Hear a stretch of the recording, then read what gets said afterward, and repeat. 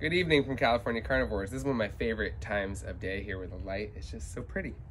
Anyways, I'm here today to talk about one of our new ping crosses that we released about a month ago and just introduce it to you guys formally. We're really excited about it. What I did is I took this plant, which is a sibling to um, Dusky Heart. Mark Rubinitz made Dusky Heart. It's a cyclosecta cross, with nice big purple leaves.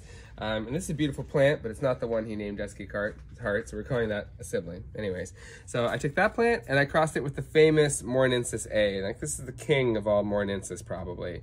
In the summer when the light is more intense, they have um, red mottled leaves. You can probably see some of it here, but they're beautiful like camo red mottled leaves later in the year.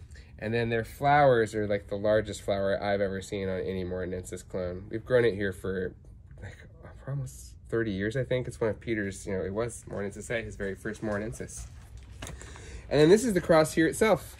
And you can see they're already getting really nice color under bright lights in a terrarium. I think they'd be like purpley red, but even here in the winter evening light, they're looking pretty great. And there's a nice flower on this cross too. It's got that cyclosecta, really long uh, lower petal, and just a really beautiful plummy color. Anyways, I'm really excited about this one and I hope you guys are too.